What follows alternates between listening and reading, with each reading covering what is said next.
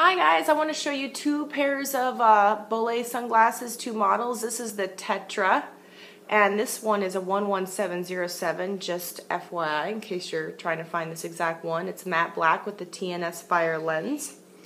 This sits a little bit higher on your face, as you can see on me. Um, this is more of a men's sunglass, medium to large fit. And uh, I would say medium to the thicker temples there, but pretty cool style. So I'm just going to show you a couple of the Tetra and then you can check out the Ecrins, which is another model.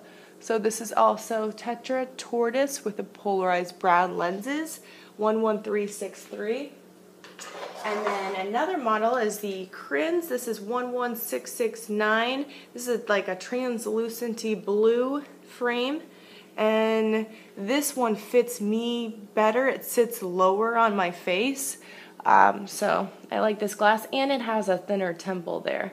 And I know some people are very, you know, they want their either they want the thicker temples or they want the thinner temples. They're pretty uh, specific about that. So here's one.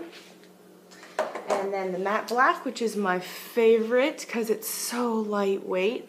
Um, this is a matte black. It really does make a difference. It's the non-shiny. It's very in right now, but you can definitely tell a difference between the weight of the sunglasses.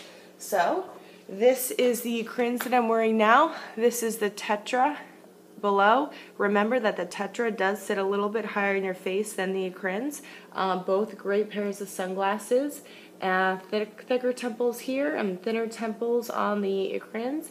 If you have any questions, call us 1 800 889 3518. Visit us at fastsunglass.com. Thanks.